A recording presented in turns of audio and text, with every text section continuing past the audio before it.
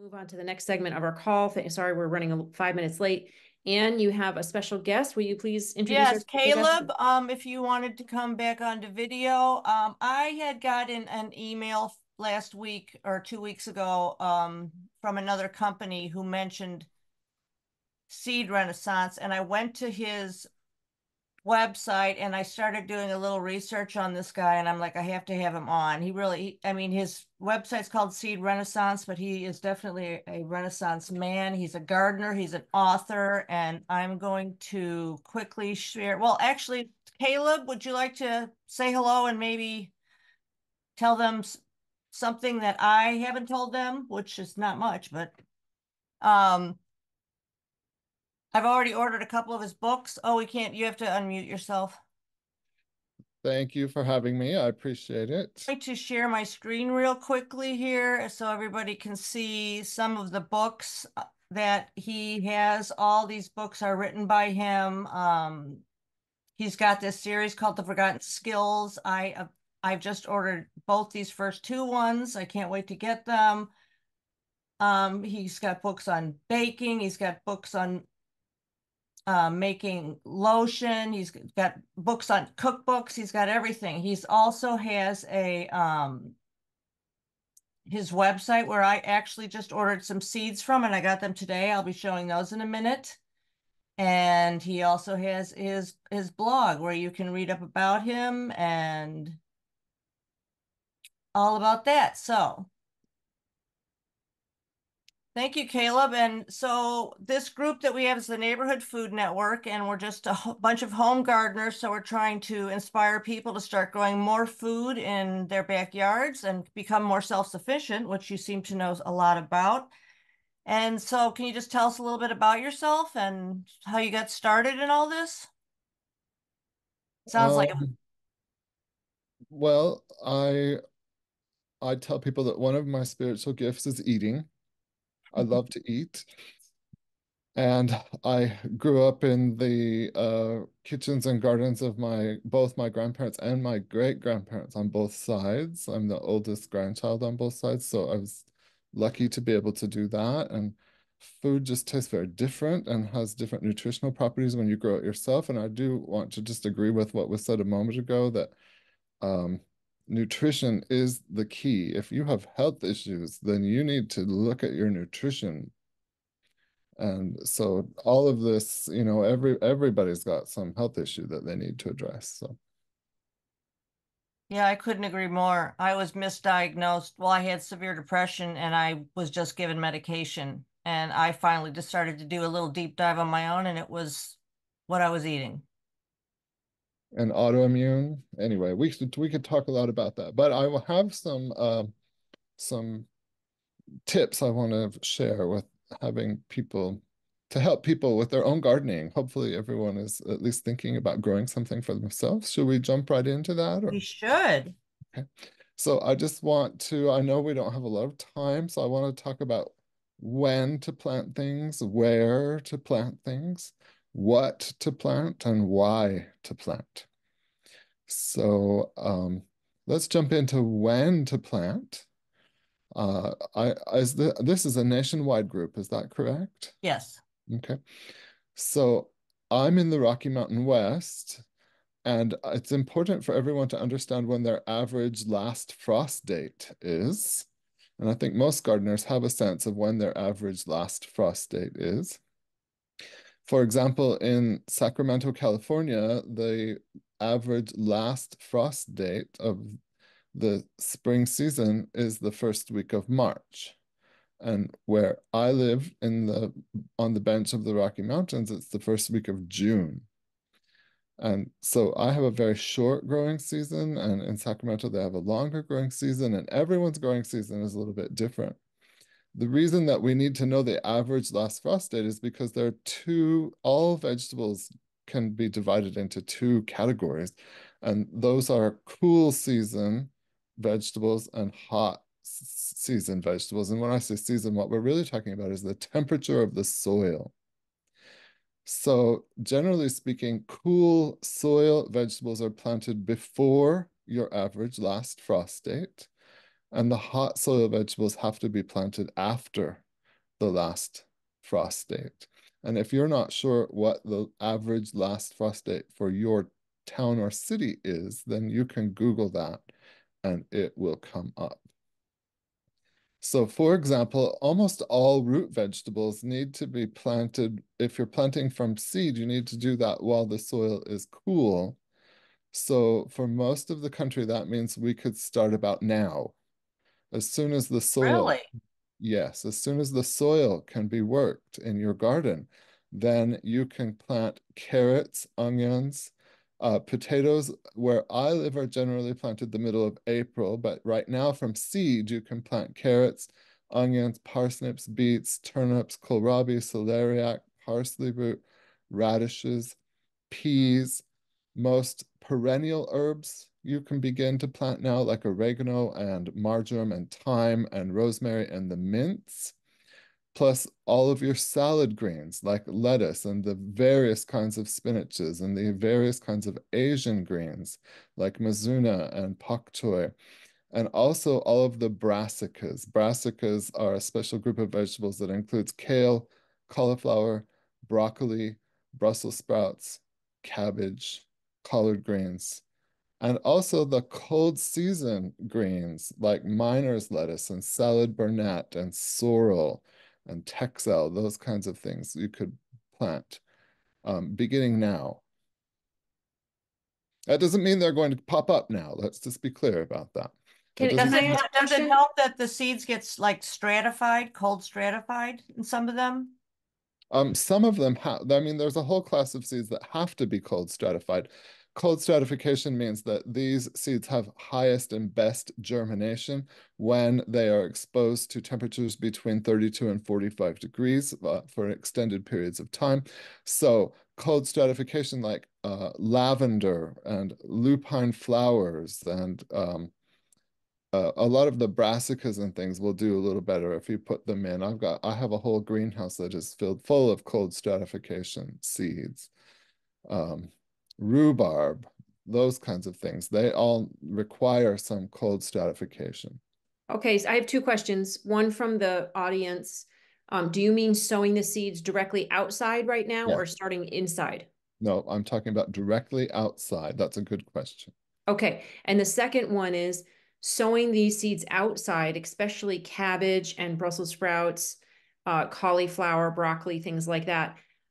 Am I, I'm just wondering if doing that earlier rather than planting them later could prevent some of the pests that that people tend to get. I'm wondering if I've been planting those things too late and then therefore a lot of pests are out because it's too warm and all of that. Does, does, does planting them earlier help prevent any pest uh, problems? Absolutely. And as I said a moment ago, these are not all going to pop up if you start planting them now, but they are going to pop up on Mother Nature's schedule. Oh, lovely.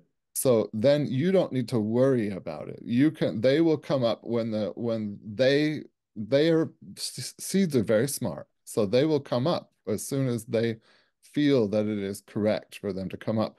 And they're not all going to come up on the same day or anything else. And the pests, they want to, the seeds want to come out before the pests come out. I mean, they're, they will take care of all of this. So all we have to do is put them in the ground. The earlier, the better. Wow, I'm so excited. We can plant earlier than I I thought. I, yeah, so, um, some of the stuff I've been trying to start in my basement already because I have chickens, so I'm trying to grow some greens for them and which is working great. But I I want to tell everybody I did try to do spinach inside and it's not possible. It got to about this big and bolted. I have a little little bolt head, so I will not be growing spinach inside because I think that really needs to be outside in the cold. Spinach would prefer, almost all of the salad greens would prefer to be outside in the cold. You can, if you want them to grow faster, you can put them in a cold frame, or you can put them in a cloche, or you can go to your local thrift store and get the largest glass vases that you can find for as cheap as possible, turn them upside down and plant underneath those right now, if you want them to sprout very soon, very quickly. Now, does it matter if it still is, there's still a freeze between, I mean, because some places in February, even March, you can still get a freeze. Is it okay for these brassicas if there's still a freeze? Well, it's gonna freeze at my house until the first week of June. Oh, wow. I heard brassicas become sweeter because they have a chemical in them that helps like their it's like the antifreeze of the plant and it makes them sweeter. Well, all of these things that we have just talked about taste better when they are exposed to cooler temperatures and they taste more bitter and more starchy when they're exposed to hot temperatures. So this entire list of vegetables that we've just been through Mhm. um, definitely will taste better, will have fewer pests, and is going to be healthier and stronger just because they're they come out according to Mother Nature's schedule, as opposed to us trying to start them indoors. Maybe they're getting leggy, maybe they're not, and then they go through a whole uh, transplant shock thing when we take them out of the house and put them outside because the temperature is very different outside. So it's easier to just let these things start outside. That's fantastic. And then, so things like tomatoes and peppers that need the warmth, would you recommend waiting until after the first freeze then and just planting them directly in the ground? So you have to wait for the hot soil vegetables. Those include beans, cucumbers, peppers, and tomatoes, sweet potatoes, melons, cantaloupes, corn, squash, pumpkins, and annual culinary herbs like cilantro and basil. None of those things withstand frost, and none of those things are going to grow at all if your soil is too cool. Even if you don't have a frost, if your soil hasn't warmed up yet and you plant them either from seed or from starts, they're just going to sit there and do nothing until the soil reaches the appropriate temperature. So none of those things are planted from seed or from starts until after your average last frost date. So if you don't know when your average last frost date, that is where you need to start. Okay. And Valerie's asking, but if there's still snow on the ground and the ground is frozen, then how would you plant? You're you're saying you wait until it's the soil is workable, right? As soon as the soil is workable. Okay, so that means when you have some days where the temperatures get up to 50 or 60, right, during the day, it's starting to warm a little bit during the day. It means right? that you it means that your soil has begun to unthaw. Unthaw. Okay. Yes. Okay. And if Valerie, freezes- we're supposed to be in the almost to 50 next week. So yeah, that's a that's a possibility then. If it if it freezes again after you've planted it, you don't need to worry about that. And if it's got frost, if it snows again, you don't need to worry about any of those things. Mother Nature will take care of that. You just relieved so much anxiety that I have had about gardening. I can't I can't even tell you like what a relief this is. And I love the whole concept of just letting mother nature do its job, letting them grow like you put them in the ground and they will grow when they want to grow. I Correct. love that. That's like great parenting advice too, folks. Like, Well, one thing I want to tell everybody is that he has a website. It's, um, I will be sending out the link because it's kind of convoluted to, to say here right now, but he has a long list of seeds that he c- he has curated and he they're non-GMO. He's basically trying to keep some of these strains alive. And I just got my order today and I'm very excited. Wow. Um, yeah, I mean, uh, Ca- Caleb, I hit like 82 tomato plants last year, so I'm basically um very excited about it. But I will be, and and he's his prices for his seeds are so reasonable. that Some are like a dollar fifty, some are like two dollars. So you just need to go there and check out all his things. And um, And they're all heirloom and they're all chemical free.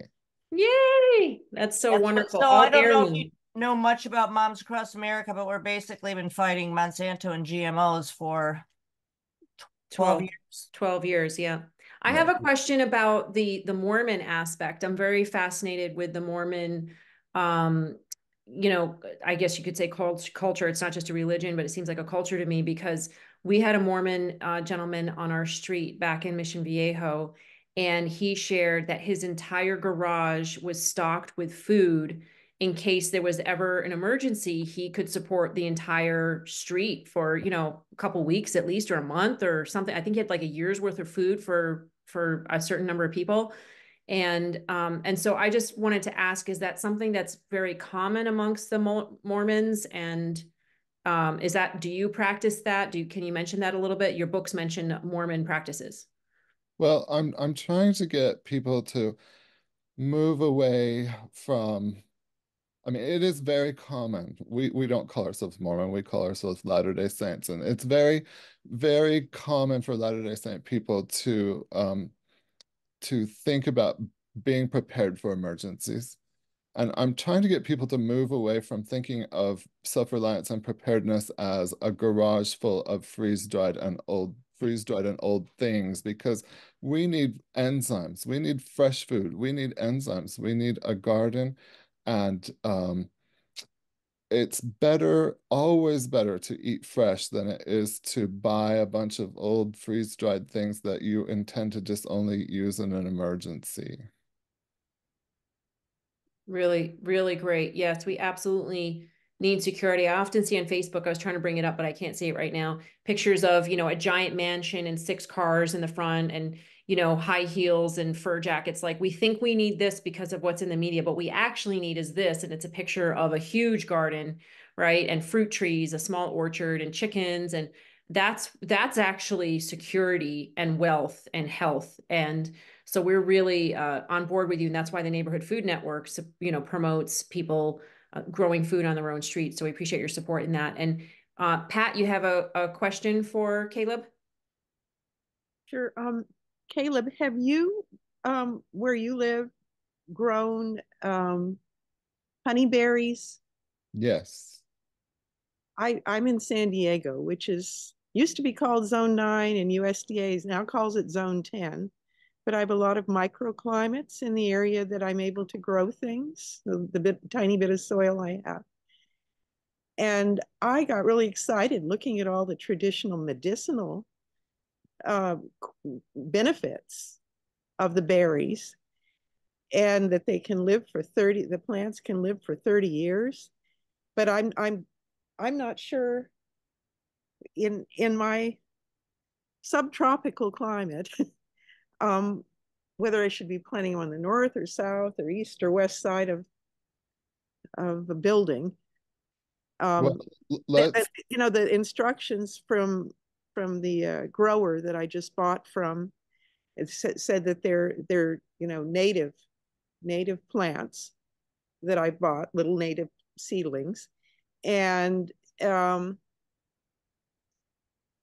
I, I'm I'm very excited, but I I want to plant them in the right place. Do you have a question for him? Yeah, where? Oh. What's what would be the right orientation, or southeast or west? Well, uh, all bear all berries I think I think this segues nat- na- uh, nicely into the next section here that we want to talk about, which is where to plant things. But specifically to answer your question, all berries need full sun. Okay. All berries need full sun. So the, if it uh, there's a certain shade too there. Yes, but that's talking about survival, not berries. So you you need eight to ten hours of full sun. It takes uh, about 20 leaves on on honeyberries. It takes about 20 leaves in full sun to create one berry. So you you need it in full sun. So you'll want it in a south facing uh, place. Oh. Um, I you know where I live, I have to grow. I have eight geothermal greenhouses, and so I have to grow mine in the greenhouse because my season is too short. And mine's very long. That's where I put mine so where to plant let's talk about uh, generally where to plant things. Um, i think it's important to note that the first rule of thumb is that tallest things go on the north shortest things go on the south. And it's a you know everything in between follows that rule. You don't put your corn on the south side of your tomatoes or the south side you don't put your tomatoes on the south side of your onions and you don't you don't put your parsnips on the south side of your uh, you know, ground cherries or something like that. You so tallest things always go in the north, shortest things go in the south. Seems kind of like that, like you should be able to figure that out on your own, but I see so many gardeners who violate that rule.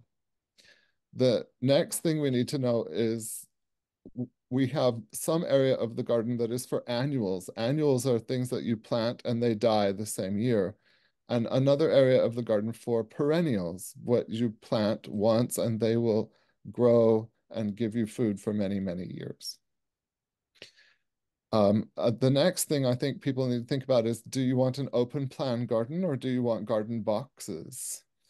And I used to tell everyone that garden boxes were a big waste of space because and time and money because you have to build or buy the box and then you have all this pathway space that kind of gets wasted. But as I have uh, grown a little older, I've decided that sometimes sitting down on the box is a good thing. it definitely the age starts to catch up to you, especially if you spend a lot of time in the garden. So you need to figure out what is best for you. It gets harder every year to be on your hands and knees in the garden, in the open plan garden. It's good for your back, but you don't want to, you know, we want to figure out what's going to best meet your needs. I want to talk for a moment about where to plant as far as nutrient recycling in the garden. Ooh. It's so important. Um, you know, I'm completely chemical free, which means that I don't use any petrochemical fertilizers or anything. I, I don't want petroleum based products in my garden. And nutrient recycling used to be the way that everyone gardened. It simply means that you take your grass clippings and you take your your tomato vines and your squash vines and you take the old leaves and you take everything that you can and you put it back into the garden and let it break down and become compost. If you're using grow boxes or garden boxes, all of that stuff goes into the middle layer of the box. The bottom of the box is wood chips. The middle layer is anything you can get your hands on that is free, that does not, that will eventually break down, like pine needles, pine cones, leaves. I took uh, all of my neighbors' Christmas trees and ground them up and put them in my boxes. Um, anything, you know, chicken manure, rabbit manure, guinea pig manure, horse manure, anything, any anything that you know where they're being what they're being fed and that it is clean and that it's not garbage that you can use that uh, kitchen scraps organic kitchen scraps all of that stuff anything that comes out of your garden that it would be thrown away or burned or whatever that will eventually turn into compost should go into the middle layer so that you're recycling nutrients right on your property so that you have good healthy soil Great. I have a question. I have this thought in my head that when I when somebody cuts the grass, or uh, sometimes if we maybe not weeds, but mostly grass, if I take that grass with seeds in it and put it in a compost and then put it in my garden, aren't I putting basically grass seeds in my garden? Am I causing trouble for myself in the garden? Well, composting is a heat process, and no seeds are viable after 140 degrees. So if you, and we're talking about putting this in the middle of the boxes. So you can put whatever you want basically into the middle of the boxes and it's going to get very hot and it's going to kill the weed seeds in the middle of that box. Now that said, I, it'll certainly kill grass seeds. I've been doing this for decades. It certainly is not going to cause a problem because I only do weed-free gardening. I don't use, I don't allow weeds in my very large gardens. Um, but you you need to you know if you've got something that is obviously filled full of weed seeds then you wouldn't use that but if you're going to if there's going to be some seeds in there all composting will kill that if the composting is done right which is why i tell everyone to put it in the middle of the box because there's no way to do it wrong if it's in the middle of the box Wow, wonderful. Okay. Does it matter if the planter boxes are wood or metal? Do the metal ones get too hot in the hotter summers? That depends on where you live. Where I live, you should not use metal. And it's really becoming a problem because people don't understand and they're buying a lot of these metal and sometimes they're using the animal troughs and stuff like that. Mhm. Put your hand on the side of one of those, you know, when it is 100 degrees outside and it's full sun, you will get a burn. It'll burn your fingers. And that is taking water out of your soil and the roots are getting too hot and that will certainly stunt plants. So I really think I all of my garden boxes are built out of free pallet wood. They're just recycled out of pallet wood. You can get free pallet wood wherever you are in the United States. And so, you know, I I would I- imagine that that heat would kill the microbiome in the soil too, or some of them could absolutely impact them. Yeah. the earthworms, the microbiome, the mycorrhiza, yes. Yeah, and Mark Dudla, our, our, one of our advisors for Neighborhood Food Network, he's a regenerative organic farmer, says stay away from treated woods. So it would be nice to know if those, um, those, um, what do you call it? Pallets that you're talking about, if they're treated or not. A lot of them are not because they're just cheap wood. Most pellet wood is not treated, but uh, you can always tell if you know the difference. If you don't know the difference, go, you can go look it up. But pallet wood always has a uh, treated wood always has a pattern on it. So you can Mm. always tell treated wood from untreated wood. And we don't use any treated wood in the garden at all because I tell people if you're going to grow your own food and then just put chemicals all over your own food, you might as well go to the grocery store because they'll they'll give you chemical food for you know that's what they offer. If you're going to grow your own, do it without chemicals. Okay. So, So should we go I into our- started, I started um trying to teach a lot of people about all the things they're throwing in their garbage that they could be throwing into their compost.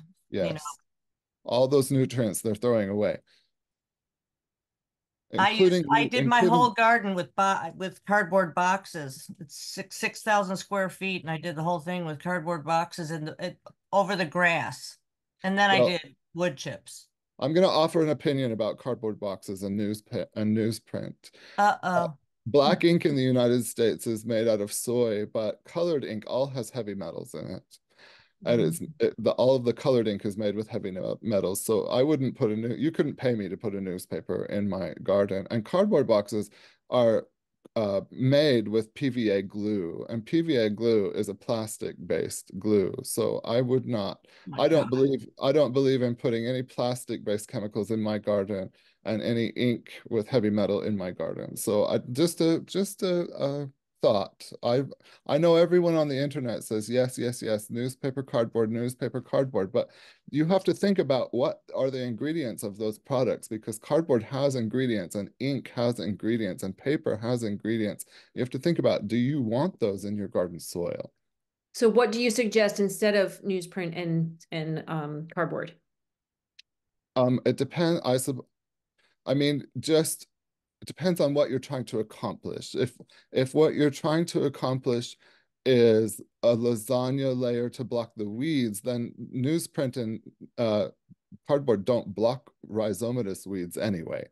And weeds that are not rhizomatous are just going to be blocked. I, every my entire garden, which is one acre in size, and my backyard garden is one acre in size. The entire thing is wood chips, rough compost, which we just talked about, which is grass clippings, and then uh, you know, grass clippings and manures and whatever. And then on the top layer is finished compost. That's all I grow in. That's it. Wow, okay. Grass clippings, wood chips, rough compost, compost manure, grass clippings, and then more, like more re- uh, refined compost. It's three layers. The bottom layer is always wood chips. The middle layer is always rough compost, which I define as anything you can get for free that will slowly turn into soil. Mhm. anything leaves pine needles grass clippings garden waste whatever and the, but on the top you need finished compost Okay, we're just gonna suggest though, if you, this, anything you can get for free thing, we'd like people to be discerning and not just get all kinds of food from restaurants that are using GMO ingredients, non-organic ingredients. If you're gonna get, you know, compost from restaurants or people's trash or whatever, I would assert that making sure that it's organic would be super important. i guess i should clarify that when i say get for free i mean out of your own yard Oh, okay, great. like Yeah, we know that's, of leaves off of your own trees grass clippings that you know were not sprayed with chemicals because they're your grass clippings. And there's if you have a garden there's always waste you know there's there's dead plants at the end of the season. All of that stuff should go into the middle layer. So, you know, when you were talking about the raised beds and getting older, um, I had been given a lot of free hoop house wood, one by ten. That they were tearing the hoop houses down and I got a lot of free wood. So I started building double high and I was doing what you were saying on the bottom. I was putting all kinds of stuff from my yard and my garden, almost like a hugelkultur type situation. yes And then I threw in a lot of food scraps down there, you know, wood chips in there, and and actually that bed it's two years old now and it's doing pretty good. So and it's kind of nice not to have to to bend down for some some You- of the time. You've used the magic word. All I grow in is modified hugelkultur. I wasn't sure that you guys would know that word, so I didn't Well, they say. may- does uh, there's some people here who may not know. It's My Basically. entire garden is modified hugelkultur. Uh, that's all I grow in. Hugelkultur is the correct answer. That's great. Can you explain that a little bit? We only, we're over time now, but if you just take a few minutes to explain that. I don't care. Okay. Um, hugelkultur is a method of uh, low water organic gardening that was invented in Germany in the 1970s. And in Germany, where it's very, very green and it rains every day, they hugelkultur in six foot tall mounds. They start with logs, and then on top of the logs, they put limbs and branches. And on top of the branches, they put twigs. And on top of that, they put rough compost. And then on top of that, they put soil but they have to have a lot of drainage. Where I live, it's very different. Where you guys live, it might work in six foot mounds, but where I live in the high, dry desert at 5,200 feet, uh, there is no summer rain here. It does not rain where I live. Uh, that snows in the winter. There's absolutely no rain in the summer. There's no humidity. So 16 inches is what works for me, and you can't use logs in 16 inches. So I do all of my beds are 16 inches deep, and they're the bottom third is uh, wood chips, and the middle third is rough compost, and the top third is finished compost. That's How do you manage long- without the rain? uh, oh, irrigation. Okay. Yeah, you in where you when you live with no rain, you have to irrigate. you Yep. have to. Do you ever add, do you ever add trace minerals in the form of seaweed? Lauren wants to know. Uh, no, because I use animal manures and I do nutrient recycling. So you don't need trace minerals if you are, you don't need to buy anything if you are using those items. How many husbands love to hear that? You don't need to buy anything. Oh my goodness. Well, we're trying not to buy things. The garden should feed you. You sh it should pay you. You're not supposed to pay the garden. Wow, we love that. Well, especially if you're saving your seeds, which uh, are clearly you're doing because you're selling seeds. Yes. But uh, then they're free every year. You don't have to pay for them if you're saving your own seeds and you are giving back. The whole garden is an ecosystem because you're growing food and then giving back to it.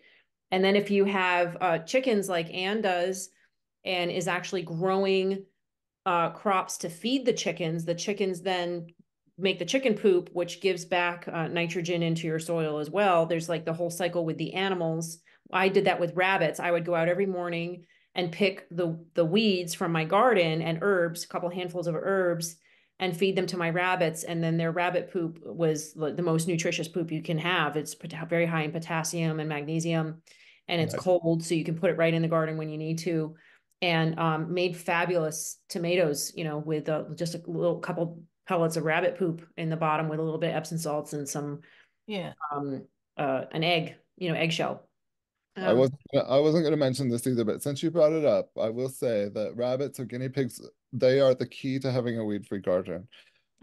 I, the, the thing I hear the most from people is that they don't want to garden anymore because they were forced to weed when they were children. So the way to resolve that is to get guinea pigs or to get rabbits, or in my case, to get both of them, and never ever say to your children or grandchildren that they are weeding the garden. Just say we feed our animals self-reliantly which i do. I don't buy any food from the store for my animals. I feed them completely off of our property year round and you just say oh it's time to feed so let's go out and find some weeds in the garden and they don't even know that they're weeding the garden they're just so happy to go feed their rabbits and their guinea pigs That is adorable. I love that. Great. Now I got to get some rabbits. and there's lots of places you can get free rabbits you don't have to buy Oh, them. I know. Uh, well, I had a, I have a question, and I saw it on one of your pages today as I was, and I don't remember where it was, but you were talking about saving seed, which is very important.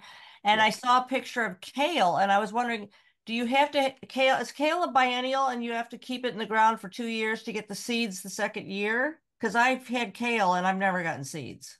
Um, some kale is biennial and some kale is not bi biennial. It depends on the cultivar and it also depends on how soon you plant it. So right now we're planting everything, even though there's 18 inches of snow outside, we're planting everything because if you plant some of those brassicas early enough, then you can get seeds in the same year. And if you don't, then you Ah. have to, then they're biennial. So it's a complicated question. Seed saving is complicated and the rules are different for every single vegetable. And I do have the largest, I did write the largest book ever published on this subject. So if you really want to know how to save heirloom seeds, you can go look up my book. That's a whole I'm other- going to be sending out the link to all your books tomorrow. So, so I bought these beets from you, And I have never been successful at beets, and now I'm thinking it is I need to get them in the ground pretty soon. Yes, you do.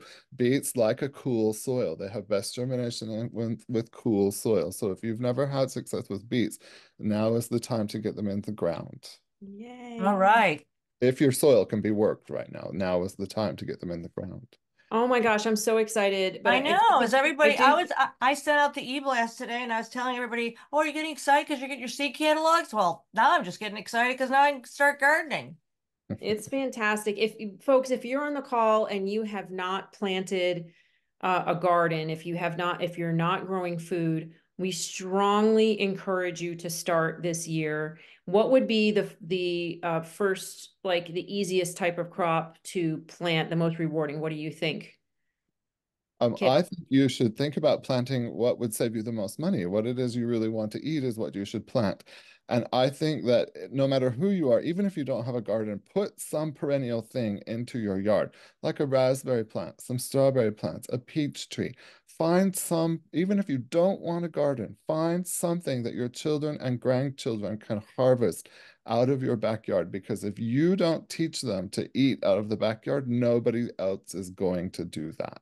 That's so true. And can you can we plant raspberry and peach trees in the spring? Because I Yes. I heard it was in the fall. Do we You- can we you plant in can the spring? Certainly plant them in the spring, yes. Okay, great. All right. I have Um, another Does question. it have to be after the frost for No, most people? It can be before the frost? yes, you can plant them while they're dormant. Oh, okay, great. All right, I'm doing that. Somebody cut down my raspberry bushes and my peach trees didn't make it when I first planted them. I only have a couple apple trees, so I'm gonna try again this spring and get, try to get, it done Good. right. Good, Yeah. good. Awesome. Uh, oh, wait, Mark has a question and then we'll wrap up. Do you have any no-till gardening like crimp rye? Do you do that? I only do no no-till gardening. Hugelkultur is all no-till, and um, I will say that my garden is uh, 60 to 70% uh, perennial and self-seeding, and that's only possible in no-till. That's how everyone used to garden. This idea that we replant everything from scratch every year is nonsense and not the way that it was done historically. So no-till is the only way to go. Okay, and so some crops like kale, you would just leave in the ground, right? You you don't pull them up. You just plant them once. My kale, uh, my dwarf blue Siberian kale planted once, it has planted itself ever since. Oh my gosh, you just keep it in the same area? You don't have to replant it every year? No, it moves, it moves itself. I mean, it move, all of these these plants kind of move themselves about six feet every year. They wander around. What? That's they're, so self, they're self they're self-seeding. They're self-seeding. Yeah, that's I mean, so I mean, wonderful. raspberries do move themselves too, but and fruit trees, they'll they move themselves by making their roots go out longer. They don't physically move their location. But Sure. no, in no-till gardening, your garden will plant a lot of it stuff will plant itself. That's sort of how it used to all be done. Oh my gosh, you I got me did so have a lot of excited about tomatoes. gardening. What? I, I did have a lot of tomatoes come up on their own. Yes, they do. But this this only works if it's heirloom seeds because Right. heirloom seeds are the only kind of seeds you can save seed from. You can't save F1 generation hybrid seeds. So you gotta, if you want to do this, you gotta make sure you're planting heirloom seeds. Yeah, so Anne, can you show his website again for Renaissance Seeds, please, so we can make sure people are uh, supporting this brilliant man and And Thank and I and I will be sending out the links to everything um tomorrow. And I ordered um I ordered a couple of his books today, so I'm very excited to get them. They talk about the um self self-reliance and um the seed saving. Oops, sorry. that's great. And I see that you have flowers in there too, Caleb. I'm guessing you suggest planting flowers in within your flat your in within your garden so that bees and pollinators come. If you want a good garden, you've got to have good pollinators. That's So I grow the anise hyssop here. That comes back every year, and man, the bees go crazy for it. Yes. Yeah. The bumblebees especially. And it makes wonderful tea. Oh, I- tea. Wonderful. All right, well, it's eight fifteen, 15 minutes over. We need to go. Thank you so much. Caleb, for your I would time, like Caleb. to maybe sometime have you back if you wouldn't mind. I would Yes. be happy to We- come back. Yes, Um, I'm so Thank you. excited. Oh, I just want to ask one quick question. I have elecampane seeds. I try, I started them indoors last year. They never flowered. Yeah, that's because elecampane uh needs some cold stratification. So the And- sooner you plant elecampane, if you plant elecampane too late in the spring, it's yep, right there. There's a whole label on that package explaining how to plant those. And he, and he gives you a, an instruction sheet with the seeds that they, they come in. I was very excited. Now when I get my mail, I shake it and I'm like. That's wonderful. All right, So- well, thank you very much. But before you, before you, everybody just ti- uh, clocks off, I just have to say thank you very much, Caleb. Uh, we want to draw your attention, folks, to a new article on our website, the plastic chemicals hiding in your food from Consumer Reports. They found uh, BPA's and um, phthalates in grocery store food and in fast food. And uh, we want you to draw your attention to this website. All the more reason to grow your own food um, is is to avoid these types of chemicals. And also, please, please, please go to Moms Across America and click on this button. It says sign our fast food petitions. We have uh, six petitions for you to sign. Don't just sign one. We want you, we really want you to sign the first one, Panera Bread, to add, to ask them to put glyphosate on their no-no list. But we want you to sign all of them because Arby's was second. Chick-fil-A had the highest cadmium levels in their french fries. Sonic Burger had the highest lead in their uh, burger. In and Out Burger um, had, oh no, I'm sorry. Chick-fil-A had the, the the, uh, Contraceptive. contraceptive, aviary contraceptive. Yes, and In and Out Burger had the highest levels of cadmium in their french fries. And Burger King and Starbucks, their Impossible Foods products had twice the amount of glyphosate as the meat counterparts. So we want to tell these companies that they need to do something about quality control in their food.